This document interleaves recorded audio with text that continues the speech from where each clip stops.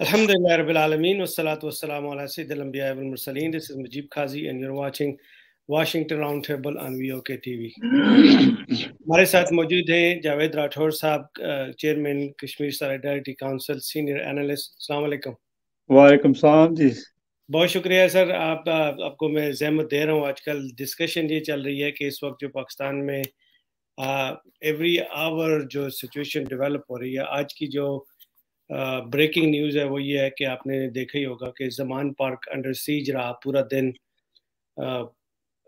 जो इस वक्त इलीगल गवर्नमेंट है, क्योंकि इस वक्त जो केयर टेकर गवर्नमेंट जिसका काम ये था कि वो आके इलेक्शन करवाती, उसने पूरे 90 डेज़ में 100 परसेंट फोकस ये रखा कि इलेक्शन किसी तरीके से ना करवाया जाए।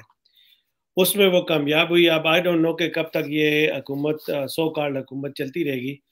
उन्होंने ये डिसाइड किया जी कि हम एक ऑपरेशन करेंगे जमान पार्क में और वो जो इस्लामाबाद में एक एक ड्रामा ऑर्केस्ट्रेट किया गया था जिसमें हाई कोर्ट के अंदर इमरान खान को पिक किया गया। इमरान खान को पिक करने के बाद जो पूरे पाकिस्तान में रिएक्शन आया उसके बदले में वो भी एलिजिडली एक ऐसा ऑर्केस्ट्रेटेड प्लान था जिसकी वजह से पूरे मुल्क में राइट्स हुई यू नो प्रोटेस्ट हुए।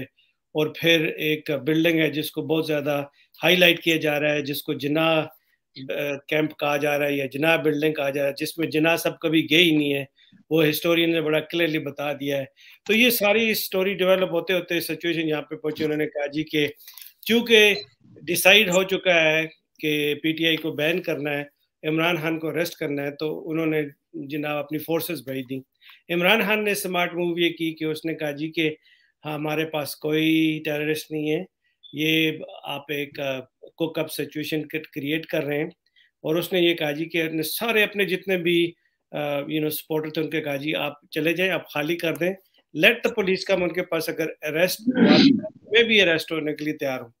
तो ये सारी सिचुएशन हुई है। आप ये बताइए कि आप इस सारी सिचुएशन को कैसे देखते हैं? व्हाट इज़ योर एनालिसिस देखिए, सबसे पहले काजी साहब, आपने आपने इब्तदाई में एक लफ्ज यूज़ किया है अंडर सीज का। जी। देखिए हम अंडर सीज के ऊपर बहुत बात करते थे कि हमारा कश्मीर अंडर सीज है। और अब तो सिर्फ़ जमान पार्क अंडर सीज नहीं मैं समझता हूँ पूरा मुल्क अंडर सीज है। यानी जिस तरह से औरतों को उठाया जा रहा है घसीटा जा रहा है और अगर हाई कोर्ट सुप्रीम कोर्ट या छोटी अदालतें जो है सेशन कोर्ट्स किसी को बेल देते हैं और बेल देने के बाद फिर पुलिस उनको उठा लेती है तो इसका मतलब यह है कि there is no law there is no rule of law there is no constitution कुछ भी एग्जिस्ट नहीं करता। तो इससे ज़ाहिर होता है कि ये हुकूमत ना सिर्फ़ गैर जमहूरी है, बल्कि ये इलीगल भी है इमोरल भी है, और जो कुछ ये कर रही है, ये बिल्कुल आप ये कह सकते हैं कि ये जो फाशिज्म है, बिल्कुल उसकी तारीफ़ में आता है, बल्कि उससे भी आगे बढ़ गया, एक टेरेंट किस्म की हुकूमत है। और हुआ असल में ये है कि इमरान खान की जो पॉपुलैरिटी हो गई पॉपुलैरिटी उसकी इस वजह से हुई कि जो दूसरी पार्टीज़ हैं, उन्होंने अच्छा परफॉर्म नहीं किया। वो लोगों के अंदर गैर मकबूल हो गए और इमरान खान मकबूल हो गए। मकबूलियत की वजह से इमरान खान को इकतदार मिला। जब इकतदार मिला तो इस्टेब्लिशमेंट ने इमरान खान को उसी तरह इस्तेमाल करने की कोशिश कि जिस तरह बाकियों को करते थे। लेकिन ज़ाहिर है कि बाकियों की फाइलें खुली होती थी। और उनकी मजबूरियाँ होती थी।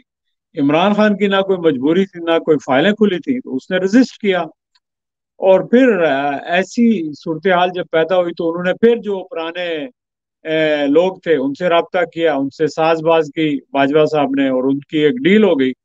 और उस डील के नतीजे में इमरान खान को हटा दिया गया। और इमरान खान तो आराम से घर चला गया। उसने कहा, ठीक है लेकिन जब इमरान खान ने देखा लोगों का रद्द अमल, लोग बाहर निकल आए, लोग इसलिए बाहर निकल आए, लोगों को कहा गया था कि यार पिछले दो तीन साल से कि इन लोगों ने इतनी करप्शन की है मिसमैनेजमेंट की है लूट मार की है, अरबों की टीटियाँ भेजी हैं और मनी लॉन्ड्रिंग की है और फिर अचानक all of a sudden establishment जब उनके पीछे खड़ी हो गई, इमरान खान को उन्होंने उठा के बाहर फेंक दिया। तो लोग रद्द अमल में इमरान खान के साथ आ गए और इमरान खान की पॉपुलैरिटी में और इजाफा हो गया। अब इनका ये ख्याल था कि हम इमरान खान की जो पॉपुलैरिटी है, चंद माह में ख़त्म हो जाएगी, हम कुछ हालात बेहतर करेंगे और इमरान खान को हम हरा देंगे। लेकिन वक्त के साथ साथ इमरान खान की जो पॉपुलैरिटी है, वो बढ़ती गई और जो जो पॉपुलैरिटी बढ़ती गई, इनको खौफ ज़्यादा होता रहा। लिहाजा उन्होंने फैसला किया कि इस शख्स को हटा ही दिया जाए मंजर से। इसीलिए उसके खिलाफ कातलाना हमला भी हुआ उसके ऊपर।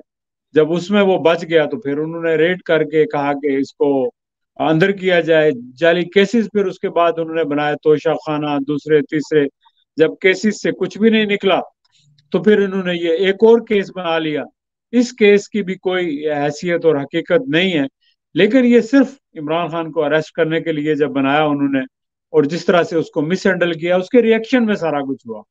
और रिएक्शन में इसलिए हुआ कि अवाम ये समझ रहे थे कि जो फौज है, वो पीडीएम की सपोर्ट कर रही है और पीडीएम के पीछे खड़ी है और असल प्रॉब्लम फौज है। इसलिए लोग आर्मी इंस्टॉलेशन की तरफ़ गए या उनको डाइवर्ट किया गया।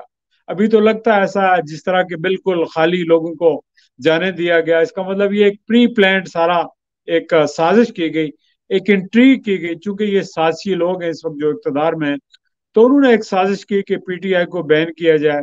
और इमरान खान को किसी तरह रास्ते से हटाया जाए।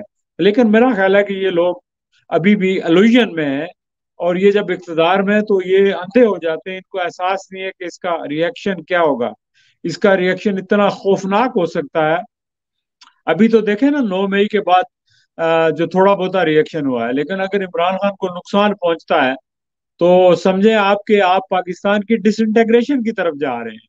आपका हालत जो है वो बांग्लादेश से मुख्तलिफ़ नहीं होगी सेवेंटी वन से मुख्तलिफ़ नहीं होगी। और इस वक्त मेरा हाल सदर मुमकत ने एक बात कही है कि सारे लोग जो है ठंडा पानी पिए, लंबा सांस लें और आराम से सोचें कि वो कर क्या रहे हैं। और वो जो कुछ भी कर रहे हैं उससे स्टेप बैक करें क्योंकि इसका फ़ायदा किसी को नहीं होगा।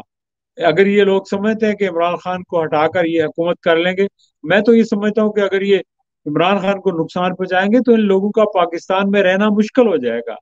आपकी फौज क्या अपने अवाम से लड़ेगी आपकी पुलिस अपने अवाम से लड़ेगी हरगिज नहीं है। इमरान खान तो बिल्कुल वो अमन पसंद आदमी है उसने ठीक है एहतजाज किया लेकिन कभी आइन और कानून को हाथ में नहीं लिया। लेकिन इन लोगों ने तो आइन का तमस्कर उड़ा दिया है आइन को इन्होंने रोन डाला है। और जी जी।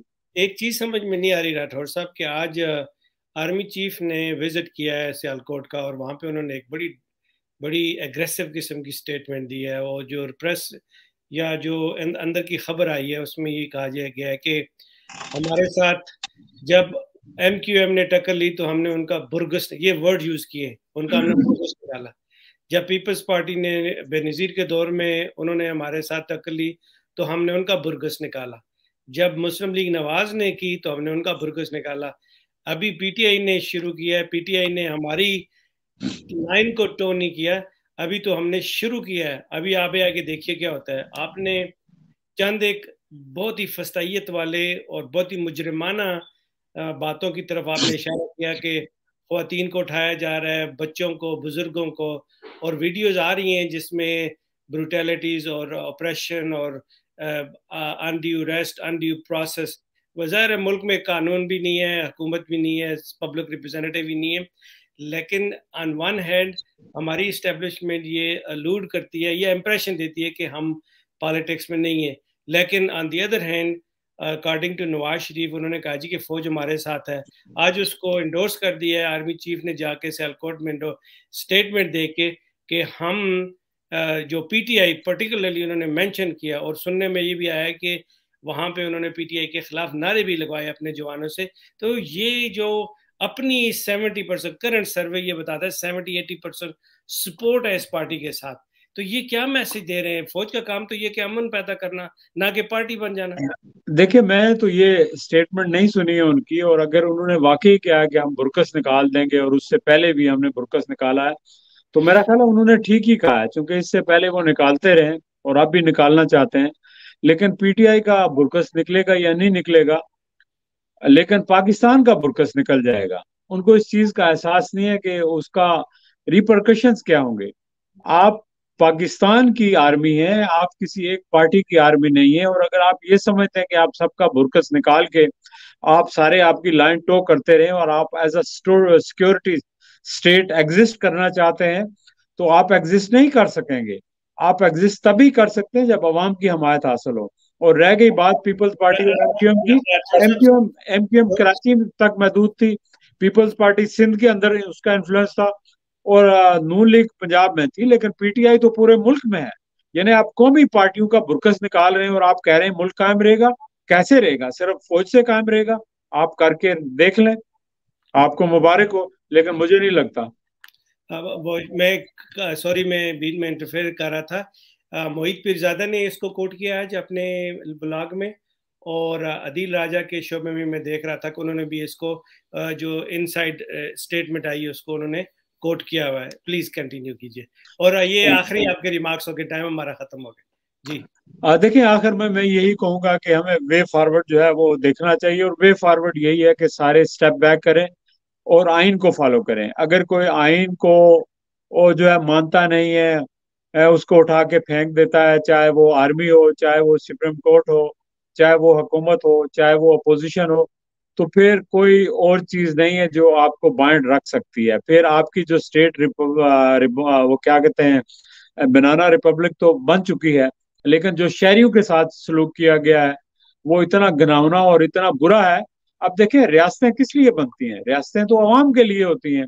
अगर अवाम उस रियासत के अंदर महफूज नहीं है, खुशहाल नहीं है, उनकी जान माल, उनकी इज़्ज़त आबरू जो है वो महफूज नहीं है तो फिर उनको इस रियासत की क्या ज़रूरत है? फिर रियासत को वो क्यों डिफेंड करेंगे? फिर वो रियासत के साथ लायल क्यों होंगे?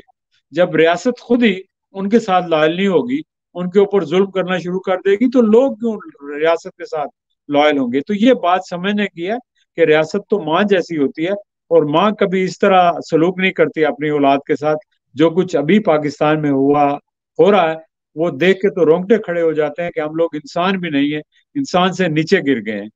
बहुत शुक्रिया बहुत शुक्रिया राठौर साहब। नट शेल आपकी कन्वर्सेशन से ये है कि पाकिस्तान और पाकिस्तान की फ़ौज एक दूसरे के लिए लाजम और मलजूम है। अवाम है तो फौज है फौज है तो पाकिस्तान है पाकिस्तान है तो फौज है। अदरवाइज़ अगर फौज नहीं होगी मुल्क नहीं होगा तो आप किसका कहाँ पे अपना रोब जमाएँगे? कहाँ के जर्नैल आप कहलाएँगे कहाँ के लीडर? कहाँ के सियासतदान? कहाँ के एग्जैक्टली या बिल्कुल ऐसा ही सबको मिल के मुल्क बचाने की तरफ़ कोशिश करनी चाहिए और अपने ईगो को सबसाइड करना चाहिए। Until next time take good care of yourself अस्सलाम चलें ओके खुदा हाफिज जी थैंक यू थैंक यू